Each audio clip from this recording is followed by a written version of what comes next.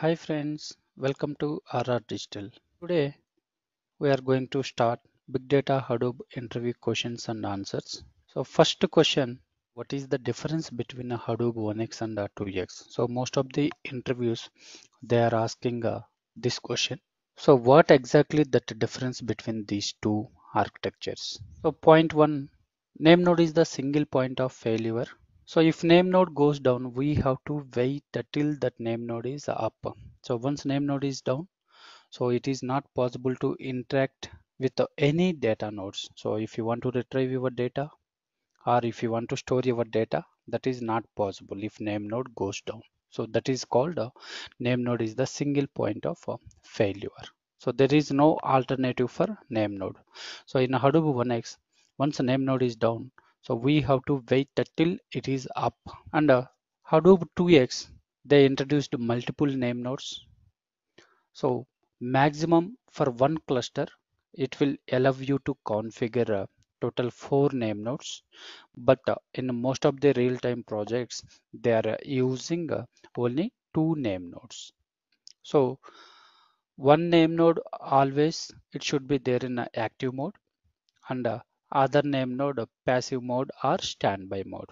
So generally all the data nodes it will send heartbeat signals to name nodes but who will give a response whether active name node or standby name node okay so always only active name node will take responsibility and it will give response uh, back to data nodes or uh, users so first point this is major drawback in Hadoop 1x, but in a 2x, they resolved it. And coming to second point, Hadoop 1x, maximum 4000 nodes per cluster it is supporting. So one cluster we can configure in data center at a time only 4000 uh, nodes that is max limit and uh, 2x we can configure more than 10,000 nodes per cluster and coming to third point Hadoop 1x job tracker is there, but the 2x they renamed as a resource manager. So all the cluster utilization, everything your uh, YARN architecture will take care here.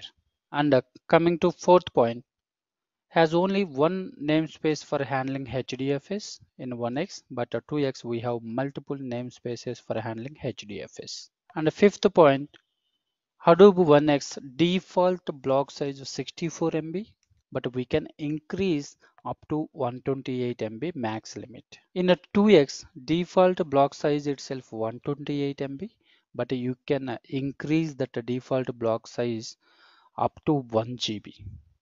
But if you increase up to 1 GB still some drawbacks are there. So most of the projects so they are uh, increasing uh, 128 MB to 256 MB only. And coming to next point Hadoop 1x we have space wastage. Space wastage means, for example, your block size is 64 MB, but you placed only 30 MB file. Remaining 34 MB space, it is not possible to use. So that is called a space wastage in a 1x architecture. But in a 2x, there is no space wastage. Okay. So remaining 34 MB also, your name node will uh, assign some um, other data files.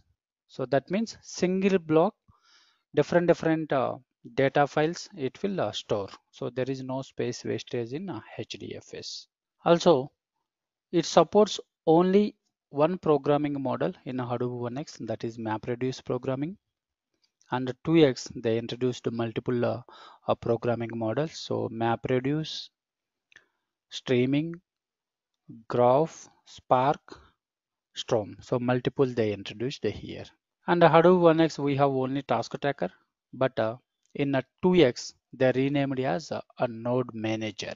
So these all are the uh, major differences between 1x and uh, 2x. Thanks for watching this session. Bye friends.